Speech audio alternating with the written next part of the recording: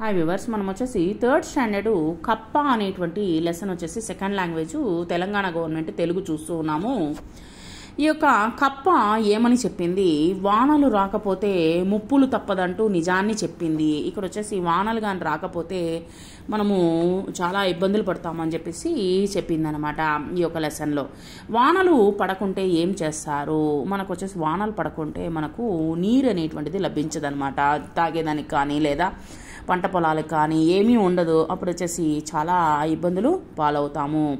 తర్వాత వచ్చేసి సెకండ్ వచ్చేసి ఏ ఇక్కడ పా ఒత్తులు ఉన్నటువంటి పదాలను గేయంలో గుర్తించి గోళం చుట్టండి. కప్ప ఒకటి చెరువు ఒడ్డున ఉప్ డప్పు కొట్టెను. చిన్న పెద్ద కప్ కప్పలన్నీ వరుసగట్టెను వాన తల్లి రాకుంటే ముప్పు తప్పదంటూ నిప్పులాంటి నిజం ఒక్కటి బయట పెట్టెను. మనిషి చేయు తప్పులను ఎత్తి చూపెను ప్రకృతిని కాపాడమనుచు చెప్పి నడిచెను. ఇక్కడ ఉన్నటువంటి పాకు పావొత్తు అనేటువంటిది మనము చూసాము ఈ యొక్క పద్యంలో వచ్చేసి వాటిని గుండ్రము చుట్టాము. క్రింది పదాలను చదవండి. వాటికి వీటిని సరిగ్గా రాసే పాఠంలో గేయ పదాలు ఉంటాయి. ఇక్కడ చూడండి. తప్ప తప్పదంటూ వాన తల్లి ముప్పు రాకుంటే అని ఇచ్చినారు. వాన తల్లి రాకుంటే ముప్పు తప్పదంటూ అని చెప్పేసి రాయాలి. దాన్ని కరెక్ట్ చేసి రాయండి. ప్రకృతిని చెప్పి నడిచెను కాపాడుమనుచు అని రాసినారు.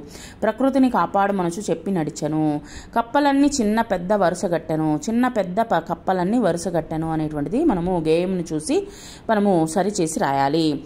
క్రింది పదాలను చదవండి. వీటిని సరిగ్గా రాసే పాఠంలోని గేయ పదాల ఓ, అవుతాయి. సరిగ్గా రాయండి.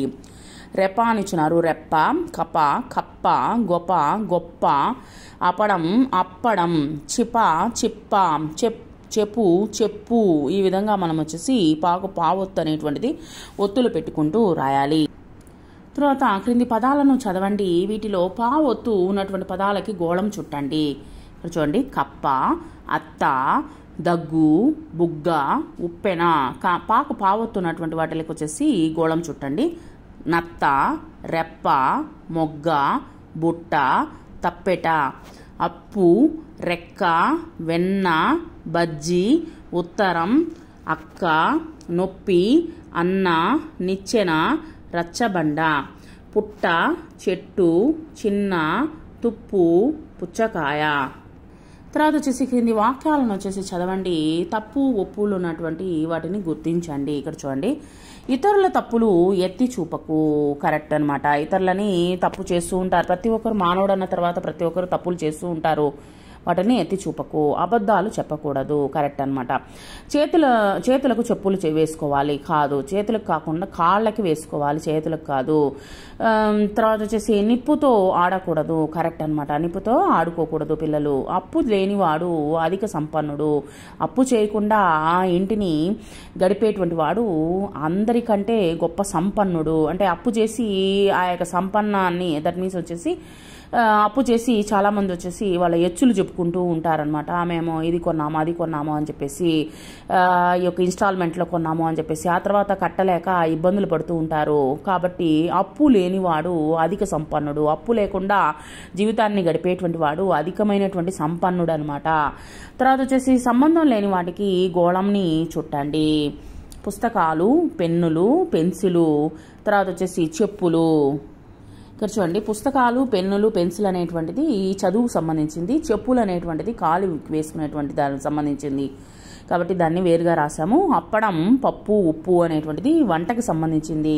కర్పూరం అనేటువంటిది దేవుడికి ఆరతి ఇచ్చేటువంటి దానికి సంబంధించింది. కాబట్టి అది వేరు. కన్ను ముక్కు రెప్ప అద్దం. సో ఇక్కడ వచ్చేసి కన్ను ముక్కు రెప్ప అద్దం అద్దం అనేటువంటి వేరుకు సంబంధించింది వస్తువు కాబట్టి కన్ను ముక్కు రెప్ప మన యొక్క ముఖానికి సంబంధించింది కాబట్టి మనము ఇక్కడ గోళాన్ని చుట్టాము. కింద అక్షరాలను కలుపుతూ పదాలు రాయండి. ఇక్కడ చూడండి. కుప్ప చిప్ప మొప్ప తెప్ప.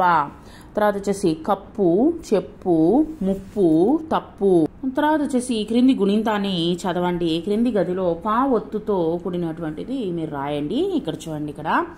ప ఫ పి ఫి పు పు పె పే పై పో పో పౌ పం పహ. ఈ విధంగా మనం వచ్చేసి ఇక్కడ గుడింతాలు అనేటువంటిది పావొత్తు గుడింతాలు రాసాము బొమ్మలకు బదులుగా పదాలతో వాక్యాలు చదవండి రాయండి.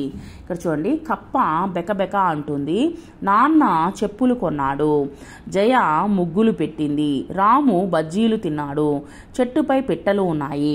రకరకాల పప్పుల పేర్లు రాయండి. ఇక్కడ చూడండి వచ్చేసి మనం వచ్చేసి పప్పు అనేటువంటి ఇవ్వడం జరిగింది. నాకు తెలిసినటువంటి పప్పుల పేర్లు నేను ఇక్కడ రాయడం జరిగింది. కందిపప్పు పెసరపప్పు మినప్పప్పు శనగపప్పు పప్పు జీడిపప్పు తర్వాత వచ్చేసి బాదాం పప్పు ఈ విధంగా మనము రాసాము. తర్వాత వచ్చేసి కాగితంతో మీకు నచ్చినటువంటి బొమ్మను తయారు చేసి దాని గురించి రెండు వాక్యాలు రాయండి. లేదా దాన్ని వచ్చేసి అంటించండి అనమాట అంటించి రెండు వాక్యాలు అనేటువంటిది రాయాలి.